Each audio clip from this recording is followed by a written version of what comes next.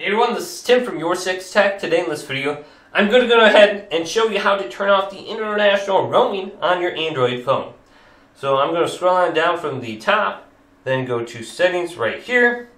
Now I want to go to network and internet, select this, and then go to your mobile network. So I can see mine is T-Mobile.